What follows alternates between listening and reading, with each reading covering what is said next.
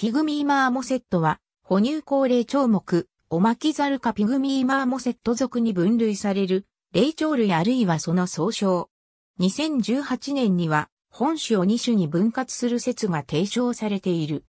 体格の極めて小さな猿で、ピグミーネズミキツネザルが再発見される1998年までは世界最小の猿とされていた。エクアドル、コロンビア、ブラジル、ペルー、ボリビア北部のアマゾン盆地西部東道長12から16センチメートル。オナガ17から23センチメートル。体重85から140グラム。新猿類では最小。俗名、シーブーラは小さい猿の胃。体毛は背面が高褐色で、伝部には暗い縁模様が入る。事前方に棒状の毛がなく、耳は頬から生える長い毛で覆われる。尾には淡い縞模様が入る。以前は、キューマーモセット属カルリトリックスのア族とする説もあった。2018年にミトコンドリア DNA シトクロム B やダドラットシックの分子系統解析から亜種を独立種とする説が提唱された。以下の分類、英名はライロンズエトールに従う。樹状のピグミーマーモセット果物を食べる飼育下のピグミーマーモセット樹木を中心に縄張りを形成しており、ちっちと聞こえる鳴き声でそれを主張する。樹液を主食としており、総摂取カロリーの70%をこれに頼っているとされる。その他にも昆虫などを餌にしている雑食性で得られるなら果実も稀に食べる。なお、飼育下ではモンキーフード、果実、野菜、昆虫などを与える。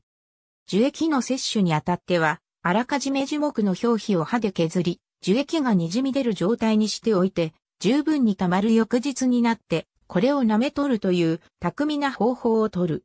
通常、樹木は表皮を削っただけでは、免疫機能の働きによって、樹液の流出は止まるが、本種が歯で削った場合、翌日まで滲み出しが止まらない。これには唾液に含まれる本種に特有の成分が樹液に作用して凝固が阻害されているとの説がある。ものの、はっきりした理由は解明されていない。飼育状態では、他の猿たちと同様、噛みついて物を確かめる習性が顕著である。飼育下での妊娠期間は19から20週間。繁殖は1年に2回。主に1回に2頭の幼獣を産むが、1頭だけ産むこともある。子育ては親と独立前の軽視の家族で行われる。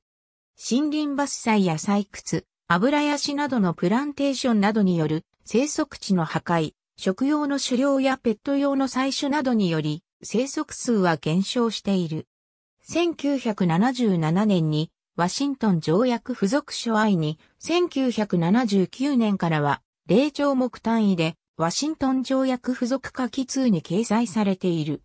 IUCN レッドリストでは2020年の時点で元亜種と亜種 CP2 ウェイブントリスをそれぞれ独立種として分類、判定している。日本では草津熱帯圏や日本モンキーセンター、日本平動物園などいくつかの動物園で一般公開されている。飼育の際には紫外線ライトが必須である。特に子供の時期には紫外線量が少ないと来る病になりやすくなる。ありがとうございます。